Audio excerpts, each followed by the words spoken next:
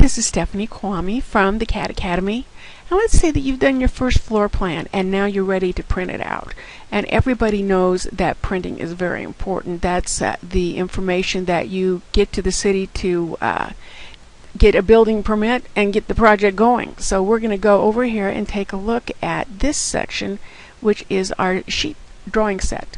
If I go to my first floor here, I can see that I have my first floor already on this sheet, but the problem is that's not my sheet. That's not my title block. And title blocks are very, very important. So let's come on down here and you see there is a list of masters. So you have um, masters that you can pick and you could edit these masters, but let's say we want an all new title block. I'm going to right click and say new master layout. I am going to call this master layout the CAD Academy. And we definitely want this to be an architectural D. And notice it puts margins on it already, or printable area, because you can't print on the edge of a sheet of paper. I'm going to say create. And this is my new title block sheet. Now say I've already got a title block that I can bring in from another package that I've used for years. I can go File, Special, Merge, and I can bring in that title block in whatever format it's in. So if you recognize these formats, it's easy to bring in a title block from another format. But let's say you just want to do, you know, you're going to do your own custom one here. We'll play this with this just a little bit. So let's go to, um, let's say fill here. And, well, not fill, let's go into line. And let's draw a rectangle over here. We're going to make a quick and dirty title block. It's not going to be like anything that you want to put on your um, drawing, but it shows you possibilities. I'm going to go to fill here and I'm going to select a different fill pattern. Let's do a, a linear gra a gradient, but I'm going to use my magic wand and just have it fill it in there. Now let's go into text and let's put in our company name. I'm going to change the point size to be like 70 points. I'm going to rotate this to be 90 degrees. And I'm going to make it white so it shows up on that black. Let's double click for a beginning point. And this is called Brown and Company. So there we go. Pretty cool. Now if I needed to move that, I just get into my regular edit and I can move that up into here. Anyway, possibilities there. And then we have another area down here. And this area, of course, is where we are going to I'm just going to eyeball this. It's not a good thing to eyeball stuff, but I am. It's not a good eyeball some days. But anyway, so now we want to fill this in with uh, specific information drawn by date, that sort of information. So then we go back to text. We need to take that text and make it back into black so we can see it, obviously. We're going to take the points down to the standard uh, point size for this. We're going to change the rotation angle. And I'm not going to bother to fill in this to be lovely, but this should give you an idea. I'm going to say OK and now I am ready to do my text. So I'm just going to click right here. and if I uh, choose this little funky looking A, this gives me some options of things to choose. And what is really a wonderful thing about this is let's say we want to put in the project name right now. I can say insert and I have the project name. And again, we might want to change the size of the font. But let's say we want to now put in um, the, let's say, we have the project name. Let's put in the client, maybe. So put in the client. And then let's put in a state that this is being done in. And again, you can hopefully see the idea of what I'm, I'm doing here going to insert the state here. And I'm going to put in a timestamp because that's really important. Then you know which is the latest drawing that you printed because sometimes when you get in a busy that's a, a problem. But if you did these all in separate lines, you could have different heights, you could have different fonts if you wanted, but we did it all in one, and we did it quite small. But uh, so that is in this area. So now we got our our custom uh, title block going on. And of course, it's not perfect, but now if we go over to File and we go uh, File Info, I can actually fill in information here. So this is, uh, the client is Mr. and Mrs. Adams.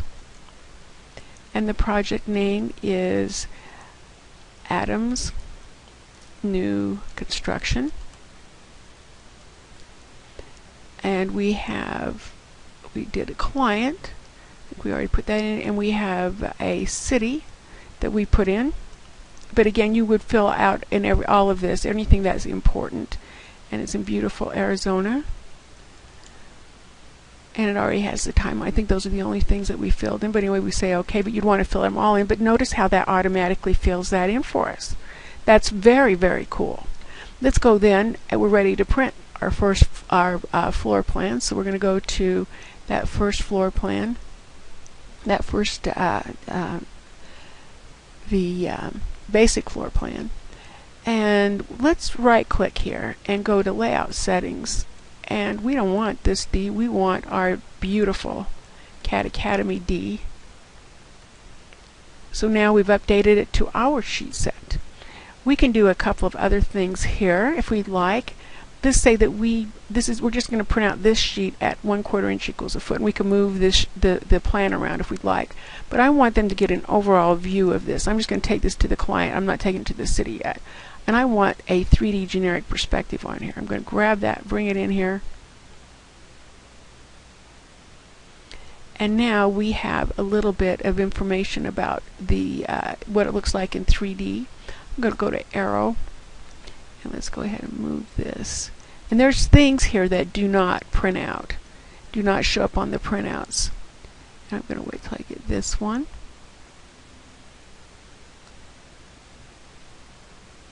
There's a way to cycle through this as well. There we got it. Okay, I'm going to click on this and let's go ahead and just move this over a little bit. We can right click now and go into settings here and there's a lot of things we can change here like saying I don't want a, any title on that because it has a title with a uh, scale. You can um, change properties. You can change the um, frame. So I can say I want to manually resize the frame then I could actually come in here and move that around or I can make the frame show up if I want the frame to show up on the printout. Right now it's not going to. And let's say I want one other thing over here. I want to bring in an elevation. So I'm going to bring in an elevation to print on here as well. And we'll just go ahead and move that over into place. And that's all I would like to do for this drawing. So you can see that you can, it's very, very flexible. I could have gone ahead and printed out a whole sheet set and over here this is actually doing a PDFs of uh, my whole entire plan as I go. This is an area where you can organize your sheets before you get them over into this format here. But it's easy to customize a title block, to bring in your own title block or customize one. Now let's say that I am doing another project and I haven't set up my environment. I haven't got my favorites of things. I don't have anything set up. And I want to print that on that uh, title block, but I didn't, I don't have any way to do that right now. It doesn't seem like I do. So I go, I can go here and take a look, and of course I don't have that because I didn't do anything right, but I do need it right now. I'm going to do a right click here, say new master layout, and we definitely want it to be a D size sheet. I'm going to say create it, zoom it out. Then I'm going to go back into where we were working. Let's go down to the lovely title block we created. I'm going to zoom out here.